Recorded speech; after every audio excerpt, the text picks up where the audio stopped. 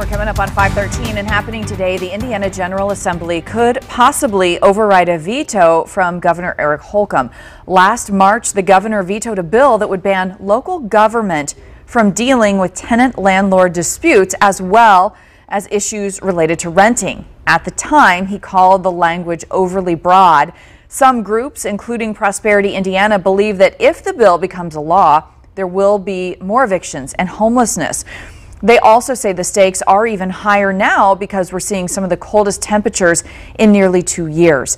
If a majority in both the House and Senate vote to override the veto, it would become law immediately. We'll be at the State House following this today. We'll bring you the latest as it develops.